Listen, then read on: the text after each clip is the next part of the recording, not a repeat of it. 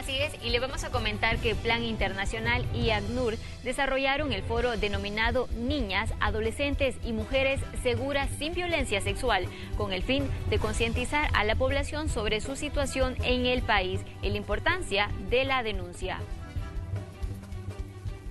Únicamente eh, el 10% eh, de niñas que han sufrido violencia están realmente denunciando. Para la directora de Plan Internacional, la concientización y la aplicación de la ley son factores claves para erradicar la violencia contra niñas y mujeres en El Salvador. De estas denuncias que se están haciendo, realmente un, un porcentaje muy bajo es el que está llegando a una judicialización de los casos.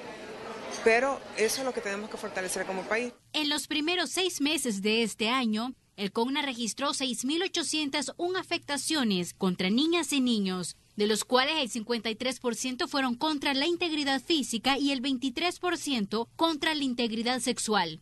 Esta última, aseguran las organizaciones, es de las peores formas de violencia que existen, por dejar graves secuelas físicas y psicológicas.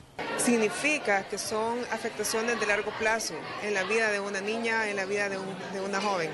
Es decir, una niña que ha sido afectada por agresiones sexuales eh, instantáneamente derrumba sus sueños, instantáneamente se aísla de la sociedad, eh, eh, tiene acciones como querer dejar sus estudios, eh, ya no querer jugar. Las mujeres constituyen más del 50% de las personas que han sido obligadas a huir forzosamente de su hogar y que no pueden regresar, que han perdido, digamos, sus casas, sus propiedades, sus afectos y tienen que cambiar, digamos, de vida de un momento al otro a causa de la violencia. ACNUR y Plan Internacional esperan contar con un apoyo económico en las instituciones públicas para implementar acciones de prevención de la violencia sexual y brindar una mejor atención a las víctimas. Es por ello que desarrollaron el foro Niñas, Adolescentes y Mujeres Seguras sin Violencia Sexual, con imágenes e informe de Marcela Rivera.